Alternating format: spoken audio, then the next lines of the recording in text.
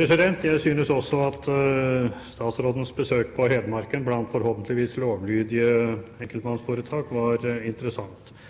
Uh, I diskusjonen om investeringsfond skriver statsråden til, Stortinget at ideelt sett hadde det vært en fordel hvis man kunne hatt den samme skattekreditten for enkeltmannsforetak som man har for selskaper. Og Så sier han videre, og det sier også flertallet her, at at eh, det er ikke noe som har endret seg siden uttaksutvalget sa noe om dette. Men dette gjelder jo egentlig tilgangen til kapital.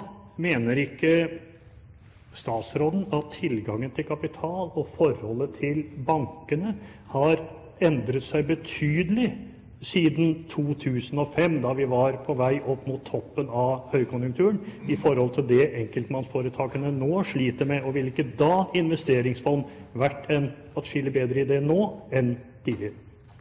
Statsråd Johnsen. Uh, ærede president, jeg kan bekrefte at hedmarkinger er stø folk. selv Sjøl om det er vanskelig å gå på rulleski når en i hvert fall ikke holder seg på beina, men det, det er en annen skål.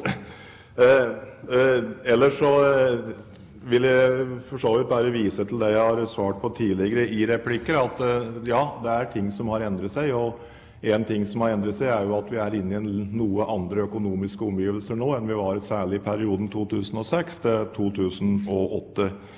Så, eh, og, det er, og det at vi nå skal evaluere skattereformen av 2006, er jo for så vidt en eh, imøtekommelse av det som Flåtten tar opp, nemlig at det kan være ting som har endret seg siden 2006, og som gjør at en eh, må se på dette med kapitaltilgang bl.a. til enkeltmannsforetak i lys av det. Men eh, Jeg vil ikke forskuttere evalueringen, president, men jeg skal love at jeg også skal ta med de synspunktene som Flåtten her gir uttrykk for.